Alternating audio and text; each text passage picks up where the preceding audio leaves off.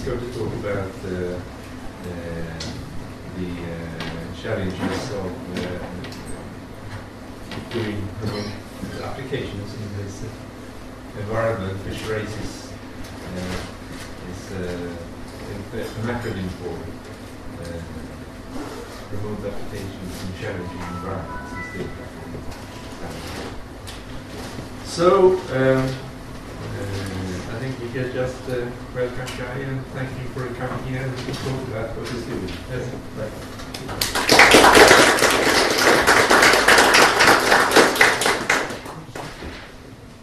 Okay.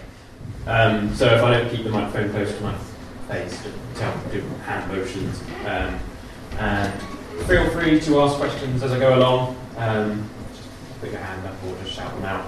Um, so there's going to be a lot of videos, so we could talk over them and they'll loop around. Um, so, I'll quick introduction about myself. Hello, I'm Guy Burroughes. Um, you can call me Guy. I work at RACE, which is part of the UK Atomic Energy Authority, which is over in Culham on uh, with the Culham Centre for Fusion Energy. Um, I am part of the cybernetics group there. So RACE, jump in, is right up here in the corner of our site. So this used to be HMS Hornbill. Um, the UK government set it up to research for uh, nuclear fusion. So we have fusion devices here. But we have our robotics arm up here, and it's slowly spreading out in different fields. There are about uh, 180 of us. Um, 160 it says here, but there's about 180 of us full-time engineers um, with electronic engineers, electrical engineers, mechanical engineers, uh, systems engineers, software engineers, um, and we do a variety of different projects. So I'm personally on my Eurofusion engineering grant, um, so I'm a fellow doing a research project into deep reinforcement learning for uh, fusion environments. So I'll discuss that briefly um, as I go along. But I'm also involved, uh, lead engineer on a few decommissioning projects involved Sellafield um, and VR projects for other applications. And uh, I dabble in virtualization for the site as well, so we're upgrading the servers. Um, so this talk isn't just going to be about what I'm doing. I'm not going to get into depth of mathematics of the systems either. It's going to be a sort of a flying tour of um, the, the problems in remote applications and challenging environments and some of the solutions as we see them. So just give a little bit more background. Um, jump in. So fusion.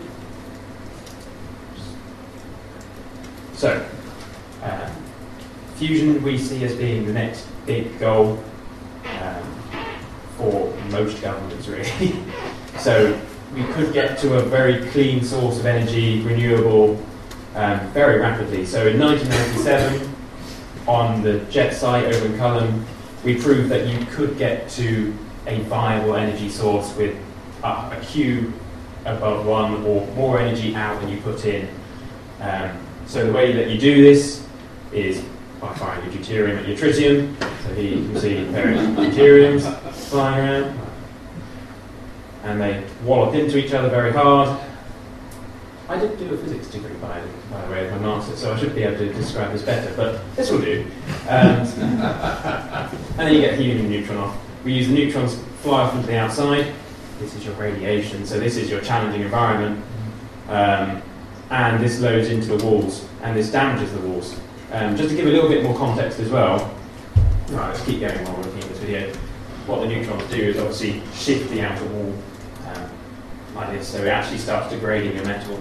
Also, when you go in there, um, as these things start to degrade down again as well, they release neutrons. So um, there is background radiation, a higher amount of radiation coming off them for around about five years. So when we say radioactive, it's not like your nuclear challenges, it's uh, much, much lower.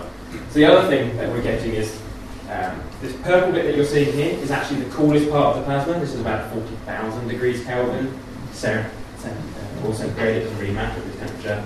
The bit in the centre that you're seeing is dark, and that's 150 million degrees Celsius, so 10 times the centre of the sun. Pretty toasty.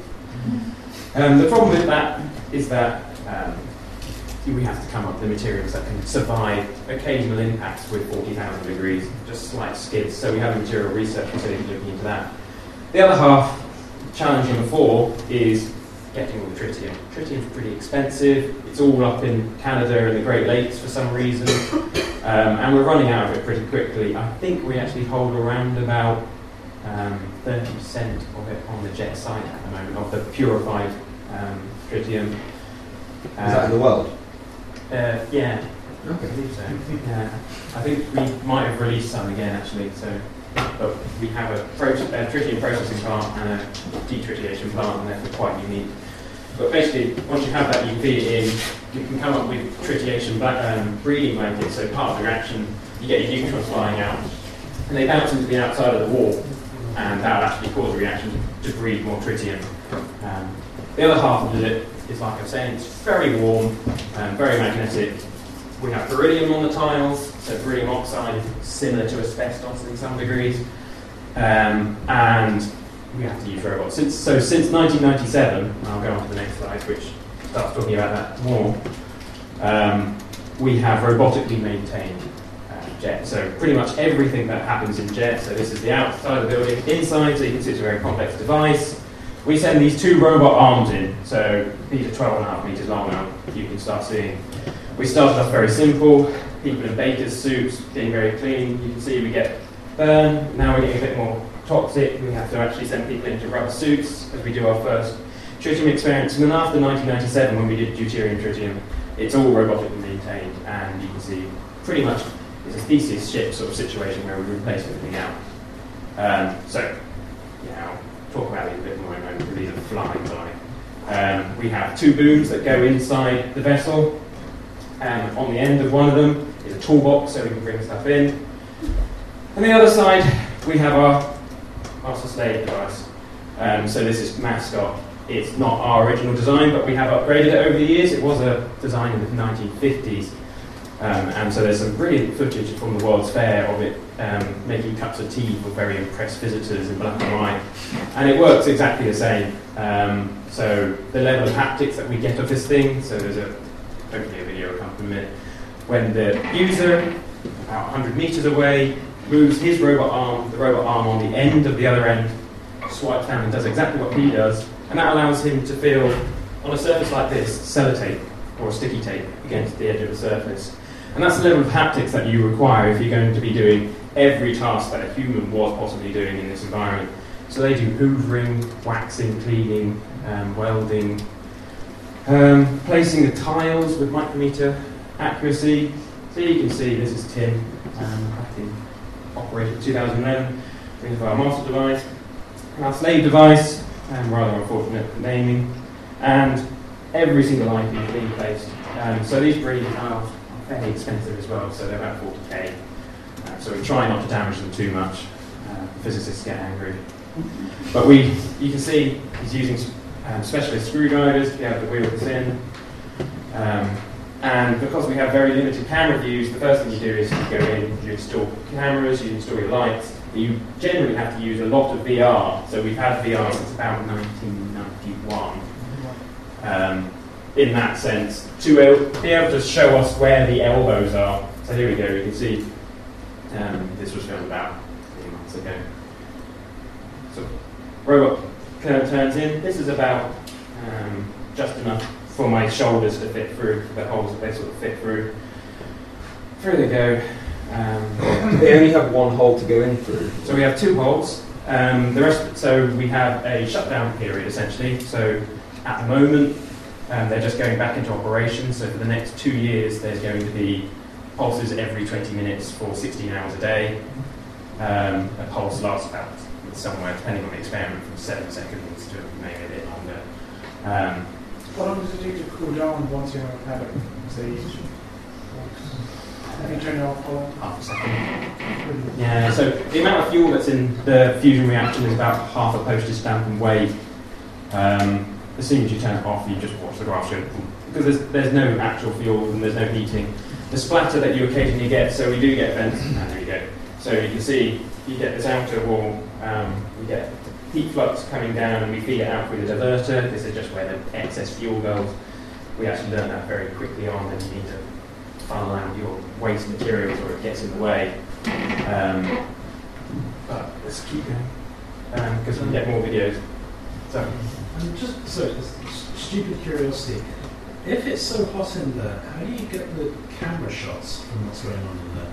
Behind a very small window. So we keep it confined, obviously. So in the centre, um, it's 150 million, but because we're using magnetic confinement, out here, it, it shouldn't really get above sort of 12 degrees. Really? So Yeah. the heat change is actually a step change. Yeah, yeah, yeah. So there's a there's a physical boundary on the plasma. Um, we do have um, events that we call upsets or deviations.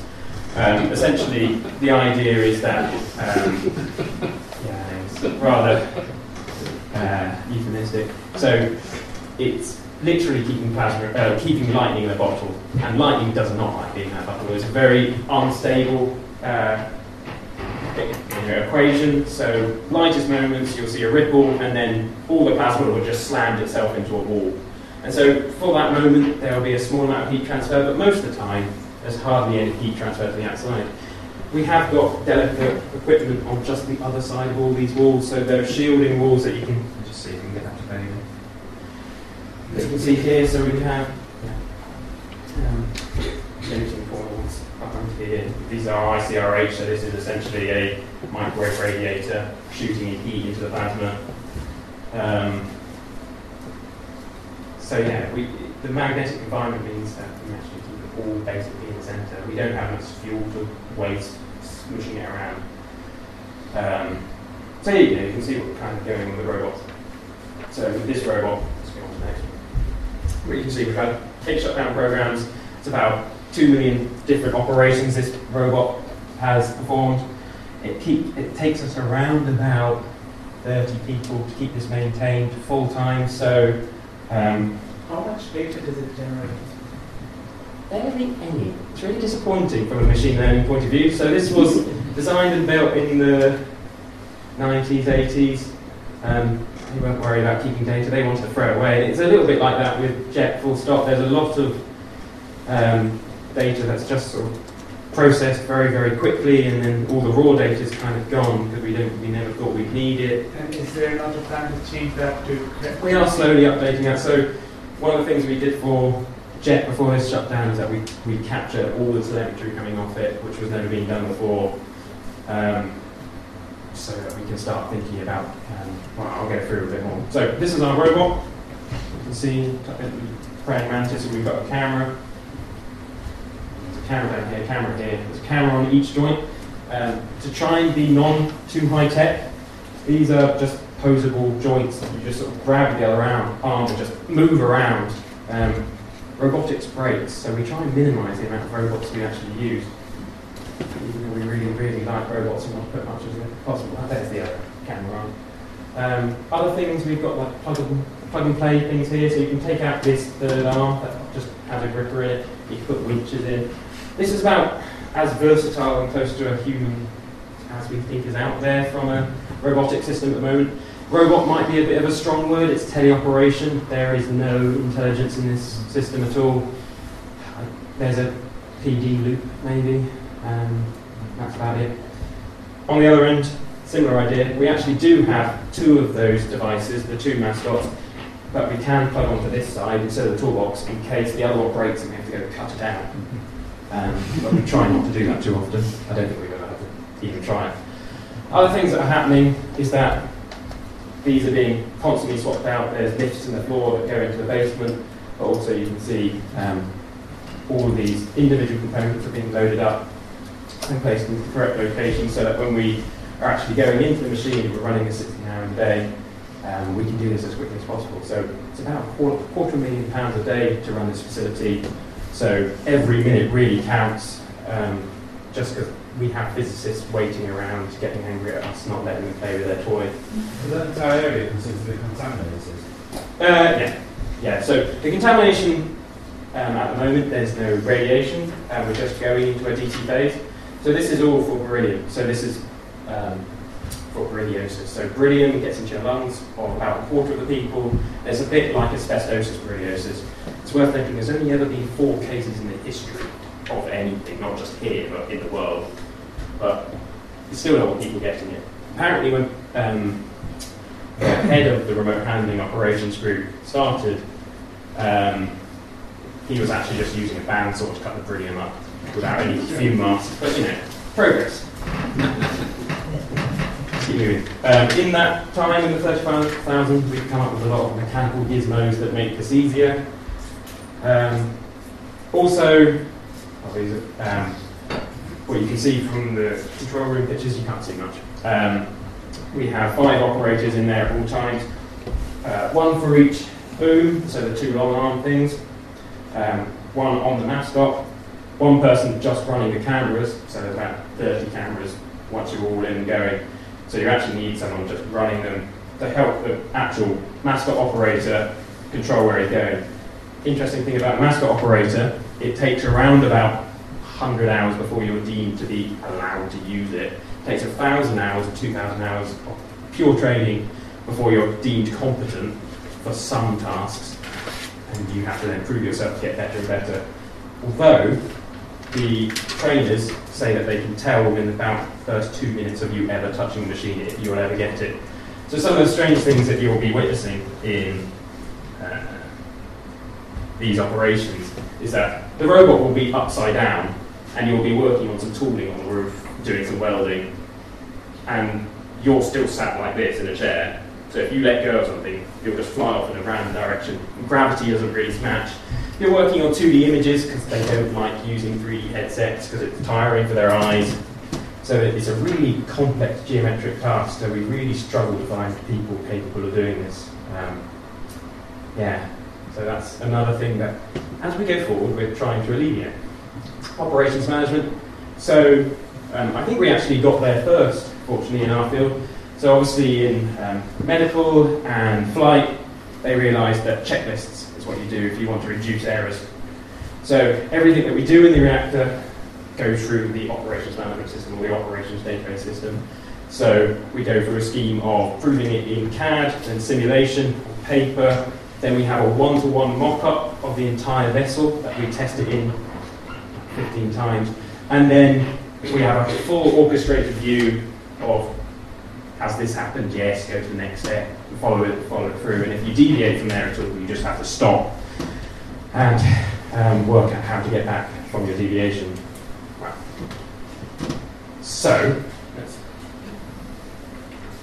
so let's jump back to Race now for a second. So Race is the um, was the jet remote handling group in 2015. Um, the UK government realised that um, it probably shouldn't be just giving a small department of robotics endless money and not letting anyone know about it. Probably should actually try and utilise some of this knowledge and technology out in the rest of the UK industry. So we were formed into RACE to be a sort of uh, flagship and national laboratory helping UK industry in robotics and challenging environments. So that's not just fusion. Fusion is about 50% of our business. It's also into decommissioning. Nuclear obviously is very linked. But then into space, oil, gas and mining, deep sea rigs, anywhere where um, we'd rather humans didn't go and robots did go. So, as I was saying before, UKA as a whole, the primary mission is fusion, um, and we are currently leading the sort of primary con- pre-concept design for demo. And demo is something that should be plugged in by 2044 into the national grid of whichever country gets lucky enough to get win the bid to plug it in first um, for fusion power. We do believe that we have all the technologies available to us now to achieve that, but building billion, well, trillion dollar international projects take their time. Hello. But do you actually produce some, some power? Yeah, so uh, in 1997 at JET, even though it's an experimental reactor, we produced 0.7 of what we put in. However, as you can see, the elements that, so there you go, in the pictures, the elements that actually take the energy and produce it only take up about 10% of the space. So if we just jammed it full of this instead of diagnostics equipment, it would have worked.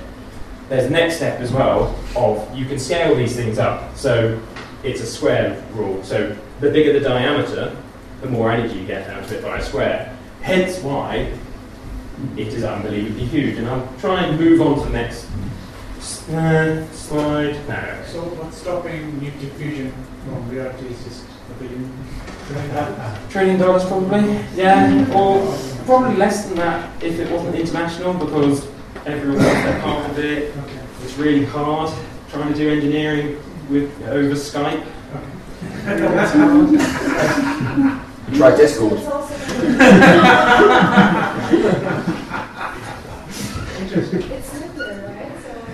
Yeah, so there is definitely there are big issues. So kilograys per hour, that's a lethal dose in 0.2 seconds or something.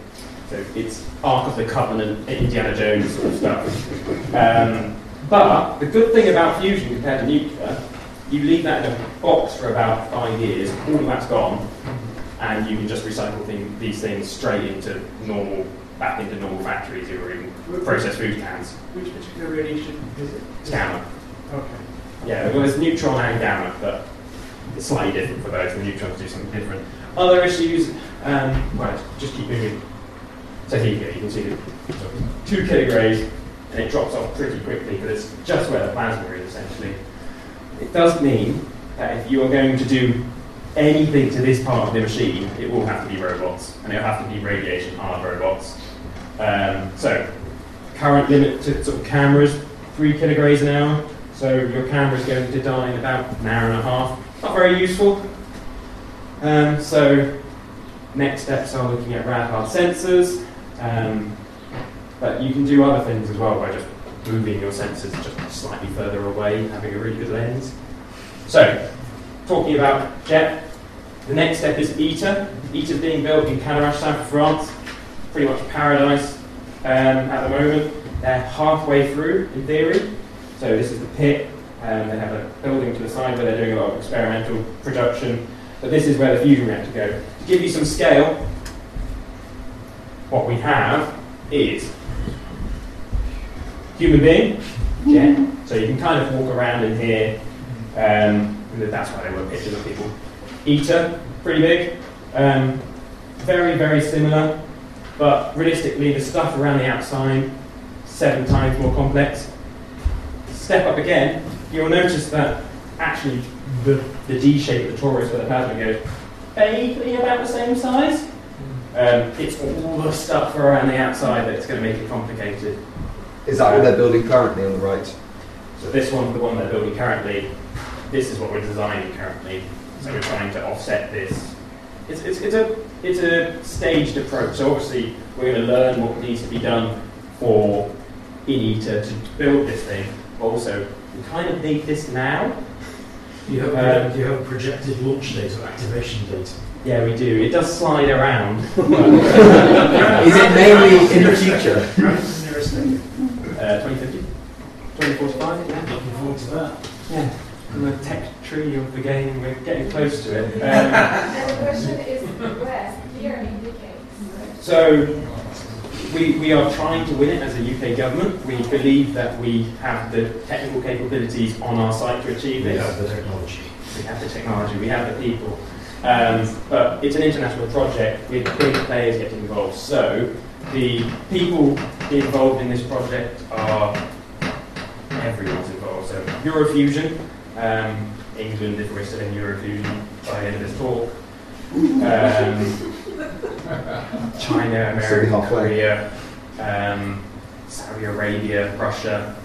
Um, so anyone who wants lights energy and having lights on What is Um, the output of something that large? Um, it's in the gigawatts sort of range, so a lot. You, you wouldn't need many. of them. Many? Yeah, you wouldn't need many of them to power a country, Oh, wow. but Define many. um, well, it, it, you would still you wouldn't rely on it fully. Um, so you would still use wind and hydroelectric and other things in your energy portfolio. This would take up a large proportion, um, about 50%, and you'd be 10 or so, depending on the size of your country. Some of the problems that we're looking at for ITER um, is this complexity thing that I was talking about. So, this is going to play. These are sort of the CAD designs that you're looking at at the moment. So, this is a diagnostics pipe, this is a laser guide tube. Uh, there's some rail systems to be able to run things around. So this whole area will be robotically maintained. Come on, hey, I'll. Next slide. Um, and then you start thinking about, right, we need to run cables to everything. Put that in. And you go, oh, wait a sec. We need all the diagnostics equipment. And now I've run out of room to put my robots anywhere. It's really annoying. Um, so these are the sort of issues is that this is a project on a scale bigger than pretty much anything else we've ever done before. Um, and things get exponentially harder the more things you put in. So every one of these, eh, like every seventh element in here is probably more complicated than what we built at Jet. Um, so to give you some scale, that building's slightly bigger than Buckingham Palace. Um, this back here is pretty much all nuclear grade concrete, no human entry. And then back here is the nuclear reactor that I was talking about. Um, so all of this will be robotically maintained. It's sort of about a kilometre by a kilometre and a half this way. Um, so needs lots of robots. Um, so yeah, current design is being routine in-vessel operation for refueling maintenance. So all of those elements on the outside will need to be replaced every five years or so just to sort of deal with the wear and tear. So that will mean going inside. So for demo, this means using you know, series of about 15 robots. So this is for four, but that's just because the animation gets difficult. There's 16 ports on the outside of this vessel. So this is our bioshield, the concrete where no radiation exposes. So you have to take those out. Then once the animation moves on, they all get fed away. So all of this area up here as well is vaguely contaminated. It's probably safe enough to send a human once in a while, but we really don't want to send humans anywhere into this vessel. Yeah. Then we're going inside the vacuum vessel behind the magnetic coil that you can see here. So these are just big, those will be the largest semiconductors in the, uh, superconductors in the world. And then behind these blankets, um, these blankets are really hard to get to because there's pipe work here all the way down. So we'll have to send robots in to on four-point cranes to then start taking it away. Um, so these are pre-concept designs. These have changed since this video. I know there's a lot of mad things going on here, but these are still things that we're working out essentially. They're sort of demonstrating the sort of level of complexity that we're going to have to challenge with. So you can see there's a large amount of um, pipe work, more shielding, more diagnostics plugs. Um, let's jump through this because it goes on for ages. With consideration being given to how long the maintenance takes. Yeah, so that's the primary um, driver at the moment. So this facility is about, uh, I can't remember what the number is, 2.5 million a day for downtime. If your electricity is going to be cheap, cheaper than Hinkley Point C, you're going to want to um, run this pretty, you, you're, you're really trying to minimize it. So having this extremely long period of time, if you're doing with humans in the loop doing teleoperations, becomes very, very challenging. Uh? Wasn't uh, Germany, was, are you mentioning Germany building a fusion reactor? So they have the Wendelstein W1. Um, this is a Eurofusion project primarily, um, so that's based in Garching, um, which is just down the road from Wendelstein going. Um, instead, for Wendelstein, instead of a torus reactor, they've gone for a different design which allows the plasma to take a more natural route, so they don't have instabilities, but it is much harder to build because it is such a wiggly wobbly shape.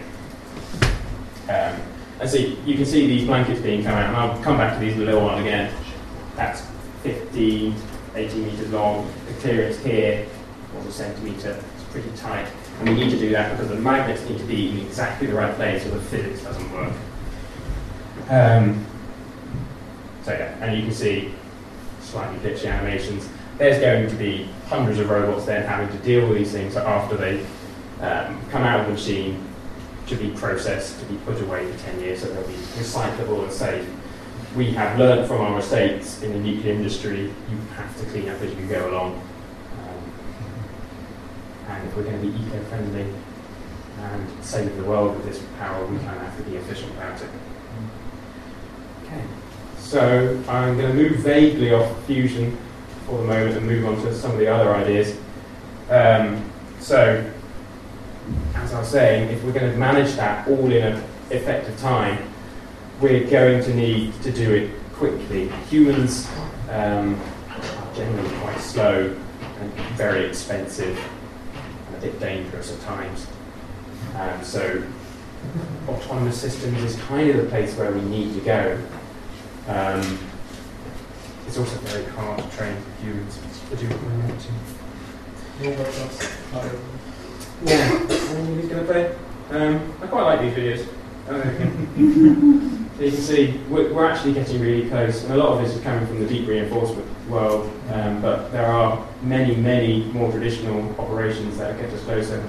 So you can see even sort of 2017 they were looking at funny. This is for more mimics, so this is more about animation style, but you can actually see that the, the style of um, interaction with a physics engine here is incredible for a 36 joint robot, and you can get them to do multiple objects. You can start um, getting them to jump over things and under things. You can get them to do backflips. You can start firing blocks at them. They're robust to noise.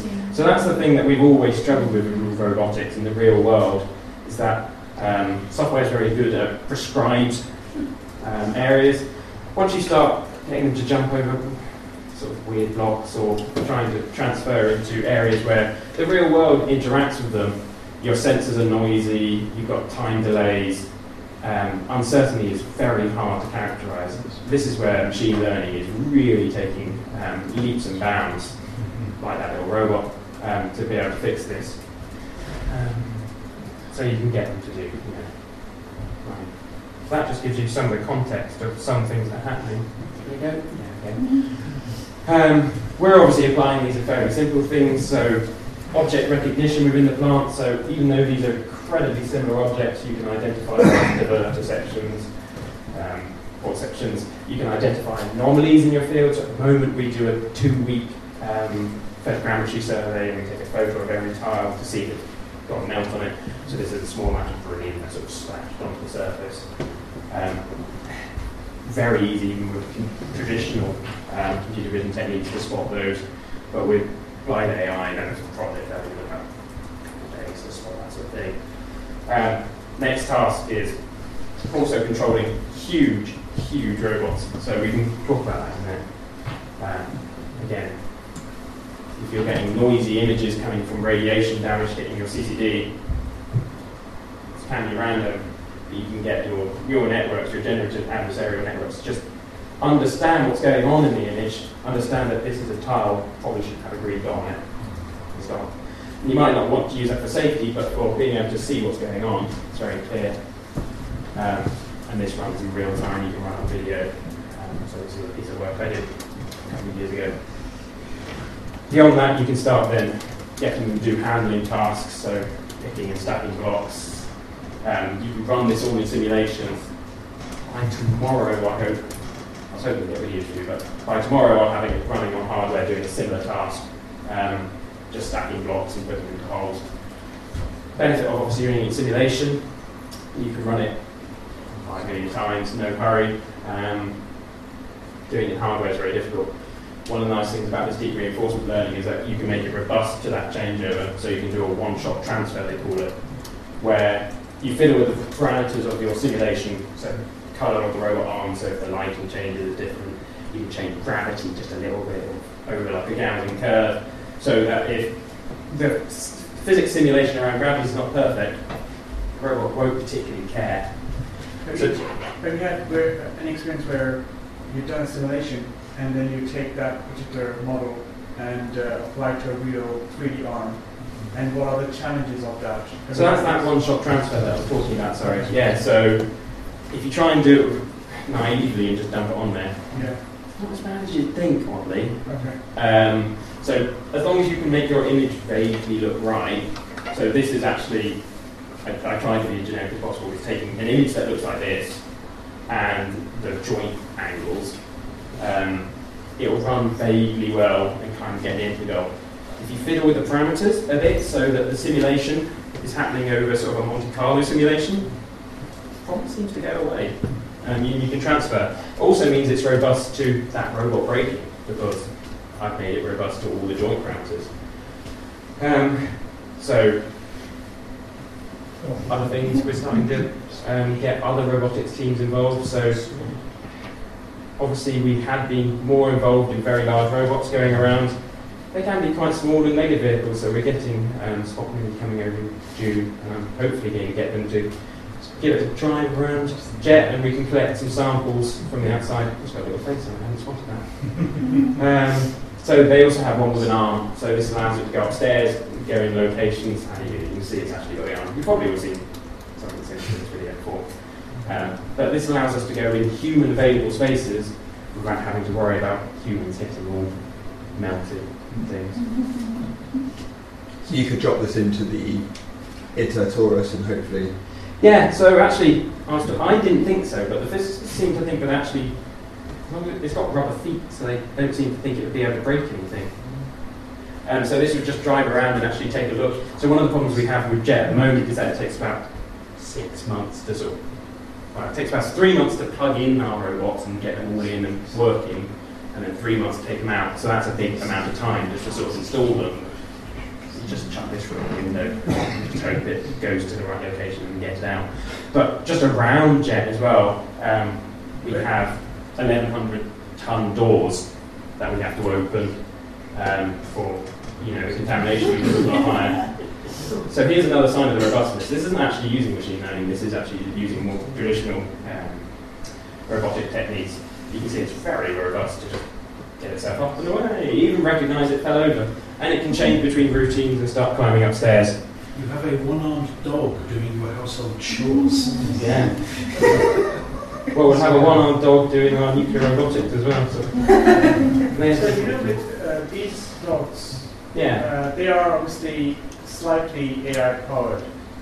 So these ones can actually be entirely autonomously driven. So how would, would you give it, you would have to give it in different instructions to So yeah, I was giving a talk to the Office of Nuclear Regulations about mm, three weeks ago.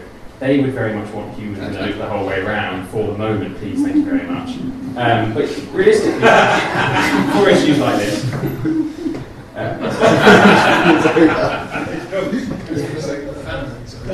um, but yeah, you can also run it human in the loop.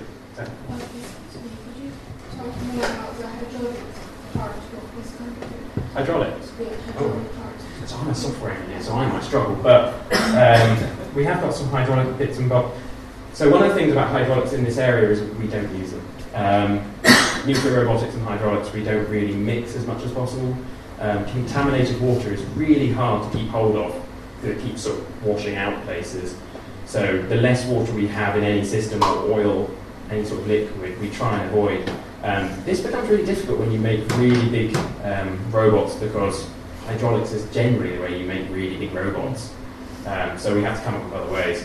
I'm going to slide over this because your last presentation was about Oxbotica maybe. We have projects um, with Oxbotica. They've gone around our SAC because we have about 30 kilometres of safe-ish road behind fences, but also still have students doing student things like jumping in front of cars. Um, yeah, so if you see these cars out on the road, those are actually being driven autonomously around. Um, so probably actually safer to jump out in front of those than other cars. Um, and as part of that, we're trying to leverage as much of this technology as possible, and I'll try and explain that a bit more. But we are setting up as part of RACE.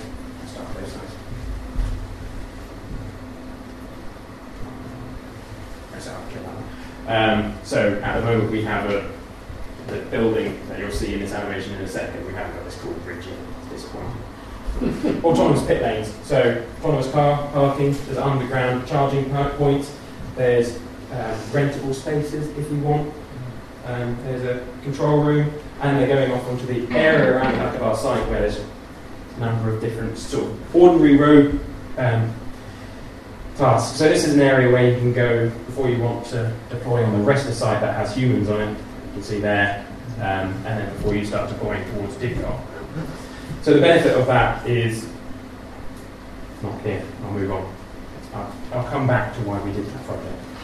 So RAIN, we're part of the Robotics AI Nuclear Hub. So this was something that EPSRC, UKRIs, um, funded for us for the next four years. We're involved with seven universities, Manchester, Bristol, um, Oxford, um, a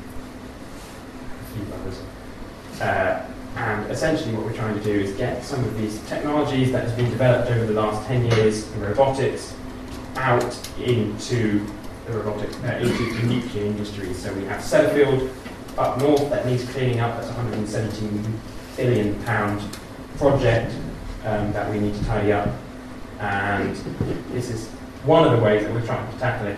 So at the University of Manchester, Barry Lennox, um, that we work with, you can see we have very simple um, huskies sort of driving around the floor, just wheeled vehicles, radiation scan on the front. And what you can do is set them off to scan your environment. So um, taking simple lane style to do your path planning, but then also setting it to do a grid. You can see no radiation on the floor in green, traverse the entire area view. So the way they do this at the moment is with a human with a wheel vehicle just moving forward. But as you come into, let's show that video, over the radiation sample that we put on the floor, big red dot, don't humans there. So that's one way. Robots are starting to get deployed in these locations like AWE. Um, similarly, um, you can do your floating vehicles. So just small submarine lower into location, do a neutron sample. So this is the first time we believe that a neutron sample has been done with a robot. I think we're confident enough that it is definitely over the first one. We can come up with more. Both of them go on? Yeah, maybe. Yeah. We can come up with more mo- novel designs. So this is inside Fukushima. Uh, in that's next slide. Um, Sellafield. One of the things about Sellafield, built in the 1950s, paper drawings, built by real engineers. Um, so the drawings don't look like how we, they actually are. Things got changed over the years as they got improved. We then shut the door for about 20 years because if you're active, you don't want to go near. Um, so now we have to recharacterize it. If you have a very small space, you have to get your robots in through pipes. Um, so this is a robot, like a transformer style robot. You drive along autonomously, it has a rope on it so you can pull it back and you lose it. But it can transform. it's the simple solution is help. um, and then it will turn into this little robot you can see on the right, and it's got a LiDAR scanner which is creating this point cloud over here. It just, as you can see, creates point clouds. You know the image on the right, is that underwater? No, so this is actually just a strange set of colours. This is in Sellafield, one of the process plants, A, I think, building 27. Um, so it's just, that one had a colour scheme and this one had a blue scheme. I don't know why it looks quite so funny. Um, it does look like it's underwater. Some of the things about the floating. Some of these things are underwater, so that's why these things exist. Um, we, again, we try and keep water out of the way. Um, and again, can you get robots to go into hazardous areas? And so this one is recognizing if it drives over something nasty, don't drag your tracks everywhere, wipe your feet on something. Um, so that was done in AWE by Bristol. So let's move back onto JET for a second. As I was saying, um, this is VR for robots. So we had this in 1990, oh, 2001. We had a very um, line angled one before this that brilliantly retro and did the job amazingly. But obviously, we're trying to update this. But everything that um, we do, we have a live digital twin, as they call it now, or just VR, as we used to call it. Um, so this robot was live with what was happening in the real world, and that dark green, that ghost that you can see here, you might be able to see it this night, is where we want the robot to go, and that's where the robot is. So you can see this little try and get the robot into this location. Other things that we're starting to think about are ooh, those videos. Collaborative design reviews. So you can see we're going through an upgrade process at the moment for the Mascot system, that master slave device. And so if you're working across boundaries or you're working on massive devices where you can't go, working on a 2D CAD machine actually can be very difficult. So we've been working on collaborative design tools to allow you to start you know, taking things apart, investigating them, but these are CAD level quality devices. So this is done with five headsets, and I'm sure you've seen something of before. And this allows you to all get involved and get um, sort of down and dirty and sort of grab individual tiles, everything's labelled. You can just uh, gain engineering level quality out of things by just sort of um, clicking the right click button. I don't know how to do it. Similarly, you can do it with quite large. Um, I apologise for the colour scheme. That is not how Jet looks. That's how I kind of imagine Jet would look if uh, you had a brighter colour scheme. Um, so you can get involved. You can jump about in real life. Let's try the next. Do These ones are slightly more realistic in colour. What's the usage time on this? Because do you not run into this issue of um, motion sickness? No, I, I've worn this thing for about eight hours actually. Um, it got a bit heavy on my head and a bit sweaty, but um, to be honest, the way that I found that most people react to it better is if you don't try and immerse them. If you make it small make it feel like a model, it becomes very realistic very quickly. There's a degree of getting it settled on your face, but actually having put two, three hundred people who've never put VR headsets on before, I haven't actually had anyone feel ill. It's- It's not like a game where they're sort of flying you through the sky and you feel motion sick because you would if you were actually in the roller coaster. This is a slow, in- interactive event where you're sort of.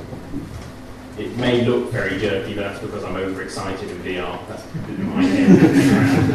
or might be Ronan's. Um, but you move around slowly. If you lean down, you can get involved. And the benefit of this is that we can deploy this um, with multiplayer essentially, and we can have people in South Korea, and we can point at a thing and make them look at it. And on a CAD screen over Skype, that's really, really difficult. Other things, benefit, it's really, really obvious um, that your component won't fit if you actually try and put it in, and it doesn't fit in this way. Other things that we struggle with is scale, as I was saying before. It's all well and good designing a device, your diagnostics plug, on a, on a screen that's 2D, but you forget that, first of all, someone's going to have to build this thing and lift it around, and it's the size of a, of a big cathedral. Um, and it's actually probably not reasonable to make some of these things, and seeing it in 3D makes that come a lot clearer. Other things you can start doing is overlaying um, sort of augmented reality. This is probably close to mixed reality, kind of. So you can start putting your radiation doses over the top, sort of, so you can sort of investigate that. Second video. Um, beyond this, you can, rather than still in this collaborative design review, you can start pushing it into your operations management system. So this is augmented, augmented reality. Come on. It's just a picture now. Yeah, it's just a picture.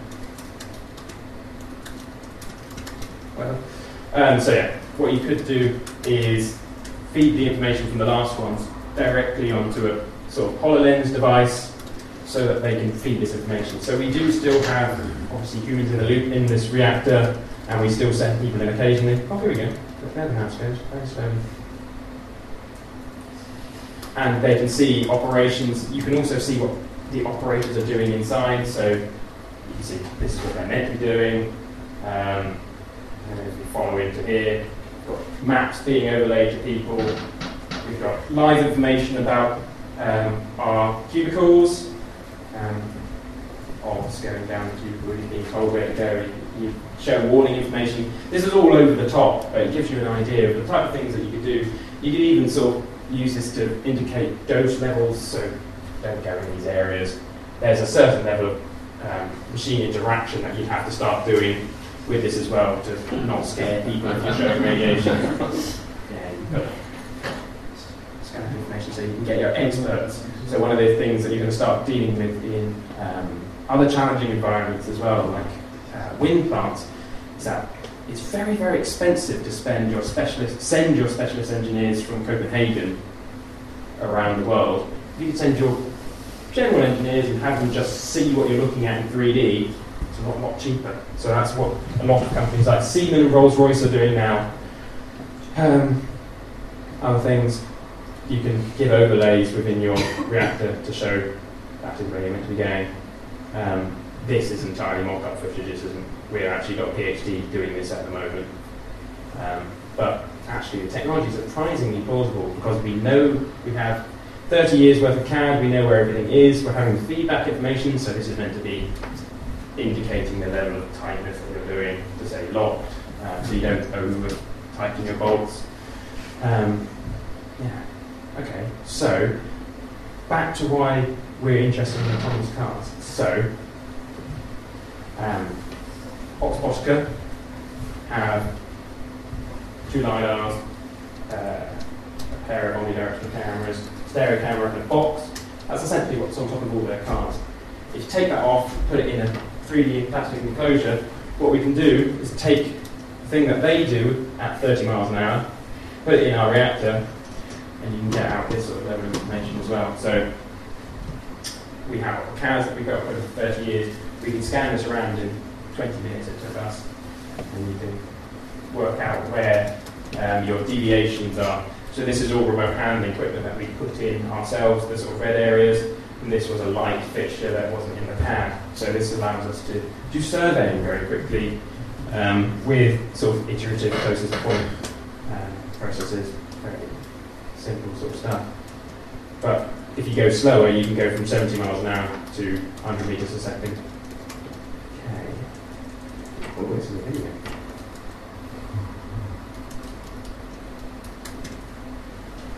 Let's keep moving. So, other things you can start doing. Um, do you have a video? Yeah. okay. You can start using these VR devices to. You can see Barry, one of my apprentices, with a glove, haptic device. You can see in the um, VR it matches, but also you can get it in the robot as well. And so you can pick up ducts. If you replace ducts with nuclear reactors, you get the idea. And that's what's going on over here. Ozan is um, actually controlling a pair of KUKA lightweight arms to do uh, a decommissioning style task. So rather than having to put your hands into a glove box, you know, sort of lead-lined gloves, you can actually get a robot to do it. It says so he's moving around a simulated plutonium can um, very cheaply and effectively. Um, it's also worth noting that uh, the UKA had been trying to do this project in the 1990s and got very, very close. And privatisation kind of put a kibosh to that. So it's very interesting that we're back to doing it again. Um, but we're in the process of um, finalising demonstrations in the RAIN project so that this can be deployed. Other things that are involved are we are delivering the world's largest windowless hot cell. So that's you know, an area of radiation is. For the European Spallation Source in Lund, this is essentially a large uh, medical device like ISIS or Diamond, I don't know, more like ISIS. Um, so we are dealing with all of the um, decommissioning elements, as it were. So they have this plug here that actually takes the neutrons from the from their source, and everything gets logged into here. Um, so this is actually very radioactive. See here, 100 giga, uh, 100 grays per hour, um, and this all has to be chopped up. So there's a large amount of robotics that's going on here. So 2021 we are delivering this. Um, oh, this is quite a slow video, so a good time. Yeah, yeah. We have plugs area. So I'm jump in a bit.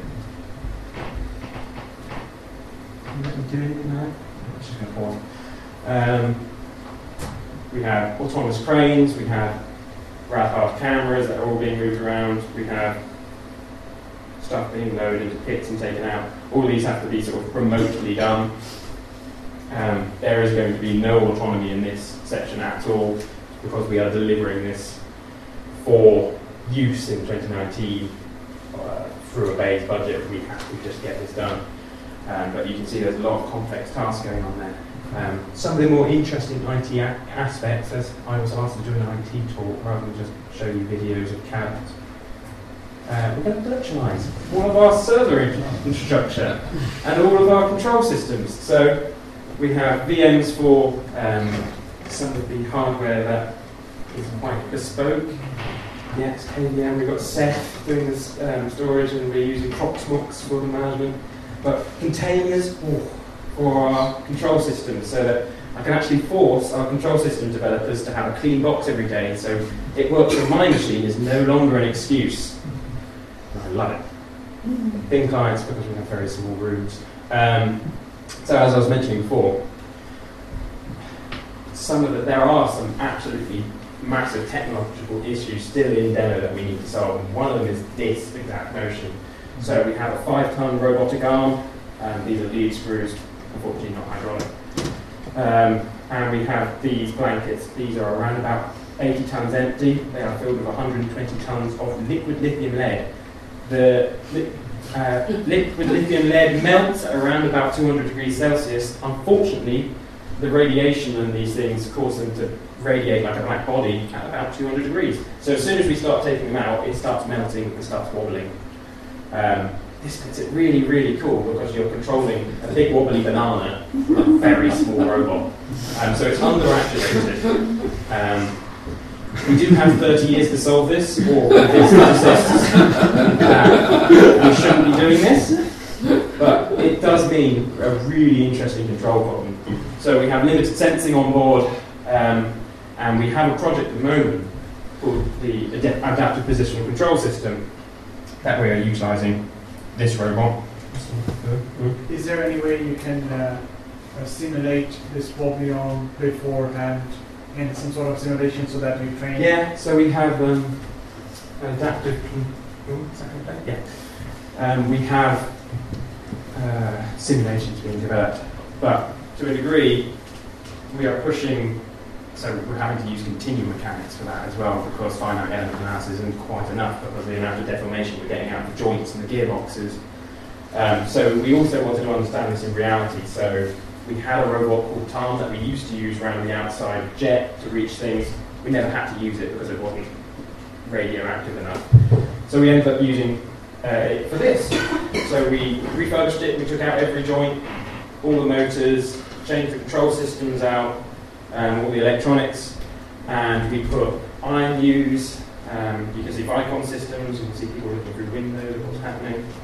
Um, there are LiDARs, 3D LiDAR, stereo cameras, um, every sort of sensor I can really kind of imagine so that we can monitor this thing, so we can try and characterize what's going on when you start moving objects this large. The next half is building um, an unscented Kalman filter style control system to do a pose estimation of where it believes this robot is, given that every joint and every link is flexible. Um, so you might be able to see in a second, it bounces more than you'd think. So when this stops, it bounces by about 10 centimetres. And that's just because of backlash in gearboxes and flexibility in the actual metal. It's really heavy. So one of the next things that we're going to do is put a big pendulum on the end of it um, and see if we can control that. And then we'll put a big blanket on the end of it, or a big wobbly banana on the end of it, and see if we can control that. So that's a really interesting project, and I was on it for about two years before moving on to deep reinforcement learning. But I'll also be trying to control this with deep reinforcement learning. But we are trying more traditional control theory techniques as well. And with uh, deep, deep reinforcement learning, is it still difficult in terms of know the, getting that wobbliness? Yeah, so I like to describe this as sort of um, there's an underlying parameter space that you can't actually measure. So the um, measurements are sort of the wrong end of the gearbox, so you don't know how much it's flexing by. So you're having to approximate what the robot state is and then try and control for it in a rapid time. There's also, because of the location, this is entering into the two kilogray per hour. We can't really see the thing it's holding, and it's holding liquid, and we haven't solved the Navier-Stokes equations yet, unfortunately. So trying to control it is quite difficult. There is, as this is pre-concept design, there is flex. We are trying to prove whether this is possible or whether there are cheaper things that we could do. On more practical things, Shingo Daiichi, um, so I, I'm sure you all um, saw the footage, um, obviously devastating to a degree, uh, even though it was a failure, it was a, it was a reactor that was 40 years old, that was swamped by conditions it was never expected to, and actually didn't end up with that much um, damage compared to something like a coal plant, would, of course, in theory. Um, but we still need to go in and clean it. So, taking the idea of the booms that we have, um, a spin-out company from us, Oxford Technologies, that has now been bought out by VNF, Veolia Nuclear Solutions, has been tasked with building two Beta 12 15 metre long booms to reach in and do a lot of the robotics. So you may have seen some footage from um, Japanese, um, the TEPCO teams trying to enter. When they try and, let's go into the video, be more interesting. No one sell this. So we have a really long robot arm. We're going to send a camera in, very tight. Um, we, it's been covered in nuclear concrete, so there's no leakages. All the entry points have been covered, and we have these portholes that we go through. Um, this area here is actually very um, covered in just garbage and debris. So they have lost a robot already going into here. Um, I think they lost a few, but they haven't said that. Um, and you enter into the environment. The first thing that they would like to do is do a 3D scan. The way that they've done this at the moment is that they built a robot that looks a bit like this and lowered it in on a fishing rod down from the top. Worked incredibly well. Um, so this is actually all being mocked up in our work hall at the moment. So we have being built a cloth version, I think or maybe steel, I can't remember, of this so that they can actually test some of these things. Um, other issues, um, we have on demo two and a half thousand pipes that need to be cut in a space of two months um, and then re-welded to nuclear level quality. None of them are accessible from the outside because they're so tightly packed against each other. So you have to do it from the inside. Um, if we were going to do a cut with a sort of normal plasma cutting technique for a pipe this thick, it would take us about 30 minutes. Um, if you use the lasers, because lasers are really cool, it takes about three seconds. So what we actually have is a working. Do I have any videos? No, I don't have any videos. Um, a working device that we can send in from the inboard. It locates itself by pushing onto the outside, um, and then it fires a laser to cut, and it also can then afterwards pull the two edges together and use a laser to weld. Um, and this takes us down from a 30 minute cut down to a 3 second cut. And you can do this all inside. So we are going through a project at the moment, laser um, for uh, getting into the inside. Does that mean that laser has to move very quickly because it's three seconds to? Yeah, pretty much. Yeah, you can just dial in the laser. You can turn it down a bit, but we want to be quick. But it's just a single joint, um, so we can actuate that very quickly. Other issues that we're deeply concerned about. So obviously at JET um, and ITER, there's going to be hundreds of robots working. At JET we have two. ITER there's going to be 70. Demo there's going to be 700. I think was the number estimated at the moment. Um, the- all of these things are going to have to work for 50 years, be upgraded, have your latest Windows 10 update driver um, for the next 50. Yeah. Um, still, you're going to have to get your patches for your Heartbleeds and your, you know. Um, also, they're going to have to talk to each other. And when new robots come along, when I'm all old and grey, and someone has come up with something far better than I could, they're going to have to work in this system.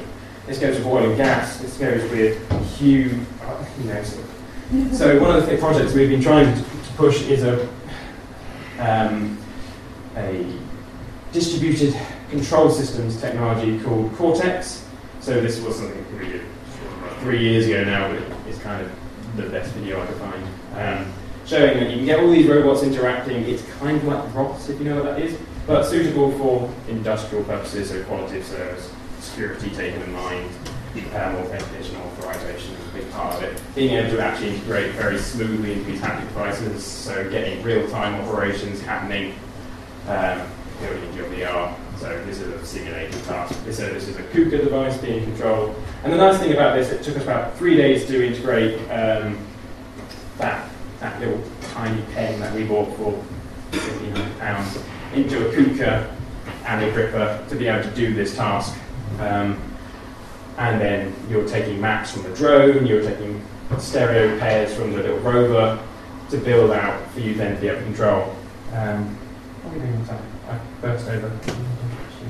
That's Cortex. Other projects we're getting involved is um, decommissioning. So Elephants to Ants is one of them. We have a few of these projects. This is the one I lead, so I'm a bit more interested in. So, as I was saying, you have decommissioning project, you have um, some sort of processing plant up at Sellafield. Pipeworks, contaminated areas, um, all of it has to be cut up, put into boxes, stored, cleaned, and then you can start working on concrete around the outside. Um, traditionally, how you do this is that um, the door, you'll go in, you'll poke a broom through the door with a mirror on the end of it, kind of get an idea of what you want to do. You'll then send a robot in to have a look. They'll identify a pipe at the bottom that they're really interested in cutting. Um, they'll then put together a tender to have someone say how much it's going to cost. Someone will win that bid. They'll say we'll do it with all the robots we can imagine.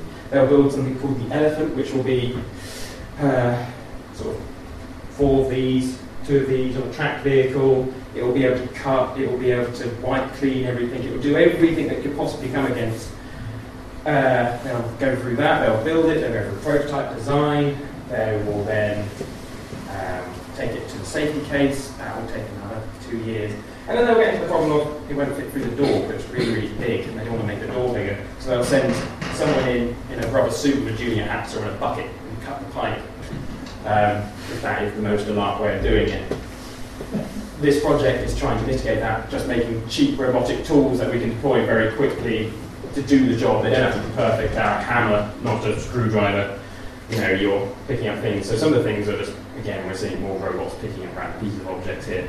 Uh, you can see you can start doing waste handling projects. So, uh, the snake can move. The snake would be um, investigating objects. as a 30 degree, um, ro- uh, 30 degree of freedom robot arm that we use for investigating vessels and so on. Um, this is a simulated plutonium can. You take it out, investigate it, clean it up, take it to pieces. Um, so this is a waste storage bin made out of MDF, generally made out of metal.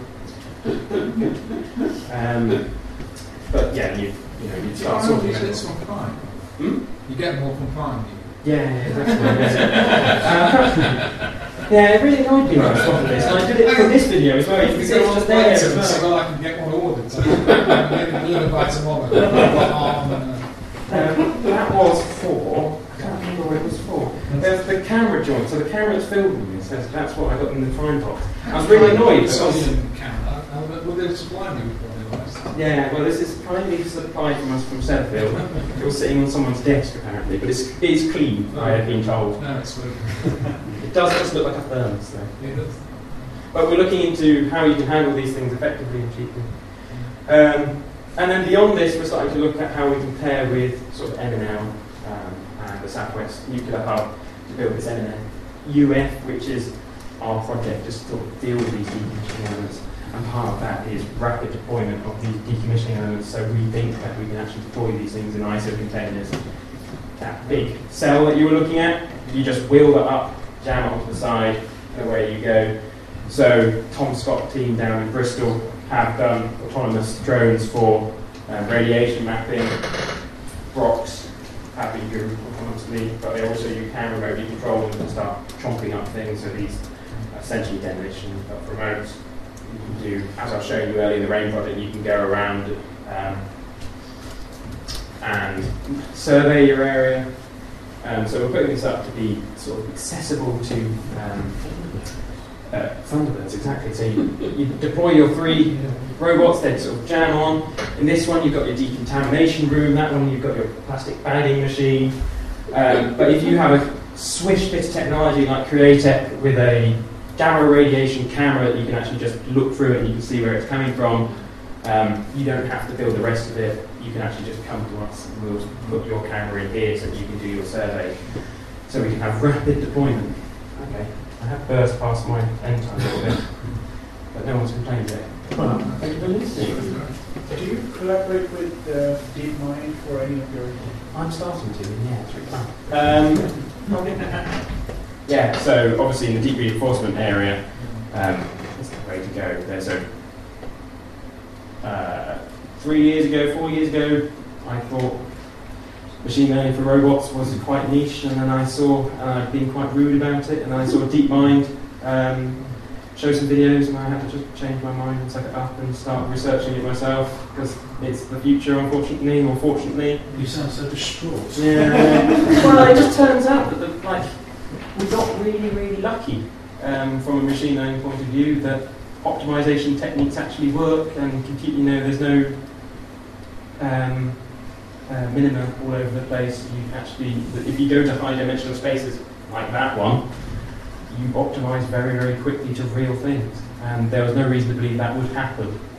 So, uh, you know, we could all have to thank Geoffrey Hinton for the future that we are going to be stuck in. Um, You- You've got a lot of human operators. You, you mentioned reinforcement. mm, Um, how about supervised machine learning? Do you think you have got a lot of obvious events to get anything decent, but you see that the human element might go from these things eventually as experts? It might be a long time before human being is out of the equation. Yeah, so I think it's more that we'll slowly just. So, uh, for this robot, it's 30 humans per robot. If we can get that down to five per robot and then five robots per human, um, it's obvious for, for the bad situations or the off normal situations, or just from an ethics point of view, we actually really want a human in control of this thing. Um, again. Um, but we can start moving our way towards it. So part of the game that's going to be from um, researchers is managing expectations to some degree and building a shared common language with plant regulators, nuclear regulators, to understand that I don't really want to put autonomous human-like robots in here. Um, I want to do very, very individual tasks like a, PD loop, A star, things that we already do in there, just they're a bit cleverer. It's still just doing a mathematical equation that you aren't prompting, and we have verified it. But you're moving forward. It's going to be hard and take time, but if we start 30 years in advance, like now, we will probably have an autonomous system in nuclear plant by the time we need it. So that's why we are starting a lot of these projects now. It's going to take a while. Seem to be planning for commissioning about 2050. Um, uh, and we learned from a, a recent speaker that singularity, when the robots take over, is most likely to be 2040. Uh, also, what could possibly go wrong? Um, so that's a really good question. Fusion is um, very safe. So you actually have to put a load of energy in to get it to do anything. So to get it up to 150 million degrees, you have to put a load of energy in. Um, if you turn it off, it disappears in microseconds. And so there, there's no cascade events. There is no, you know, the, the core goes out of control. If anything goes wrong, turn off the machine, and it just disappears. Or if anything goes wrong, it breaks the machine and it just disappears into helium, and everyone gets squeaky voices for a while. Um, yeah. Sorry, The, I couldn't resist. the issue comes more in um, making these things are stored well. Earthquakes are a big issue. So Beta Cadarache has a um, seismic event two every 100 years. Um, so we would expect serious operational events that we would have to cope with within the plant's lifetime, um, and we have to design around those. But that's why we've started sort of 30 years in advance. We we see this as being the safe, safest form of energy production over wind energy and all these others, And solar. and solar. Yeah. So there's a lot of output from solar, but you know, production that's not pleasant. And also, you have to send humans out to clean them. We can send robots. Yeah.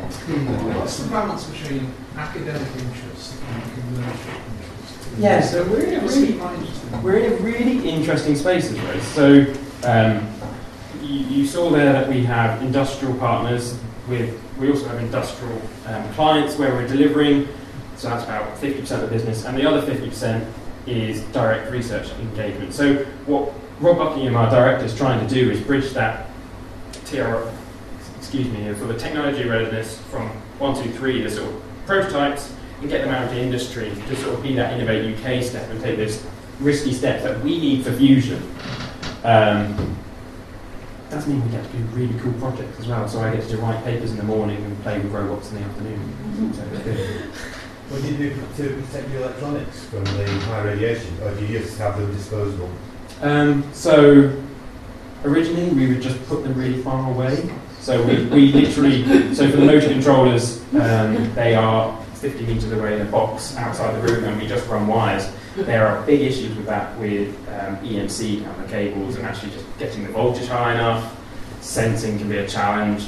Also for wire breaks, it's a challenge. Um, fibre optic is another option um, because you can just get more data down there and you can use plastic. Those are don't great. Um, you can also, rather than printing on silicon your chips, you can print them on ruby or diamond. Um, and those as semiconductors have a bigger step, so you have to have a higher amount of gamma actually hit it to do the step up.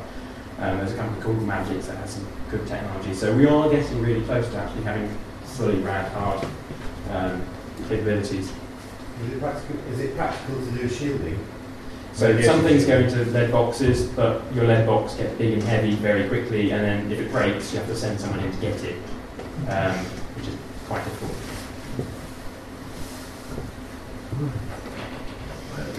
I think we have to wrap up now. Excellent. Well, thank you very much for a very uh, ambitious and uh, very interesting talk. And uh, so uh, I hope you come away from this uh, talk and uh, uh, with a view on what advanced things will happen in this place. So we're hiring, by the way. We've got 50, 60 positions out with Brad to senior level. If we hire anyone. no, we, we're obviously looking for high, you know, the best of the breeders, but I'm sure this room's filled with it. Not all of baby yarn, it's a very good spread. But anyhow, thank you very much.